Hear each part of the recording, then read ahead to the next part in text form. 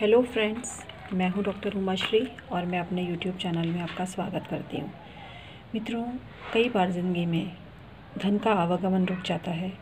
कई बार ज़िंदगी में प्रोग्रेस नहीं हो पाती।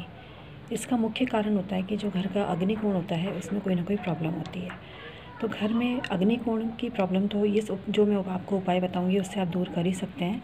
इसके अलावा कोई भी ऐसा उपाय, जो कि आपके सॉरी, कोई भी ऐसे प्रॉब्लम जो आपके घर को परेशान कर रही है, उसका सॉल्यूशन है ये जो मैं आज आपको बताने जा रही हूँ। आपके घर का जो अग्निकोण होता है ना, उसमें आप एक कैंडल जला के रखें, टाइम टू टाइम।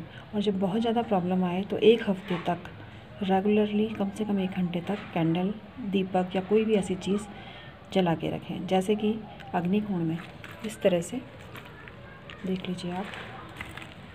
इसके साथ साथ अगर कपूर की टिकिया भी जलाते हैं ना तो बहुत ज़्यादा फ़ायदा होता है। आज का वीडियो समाप्त करती हूँ। बहुत बहुत धन्यवाद।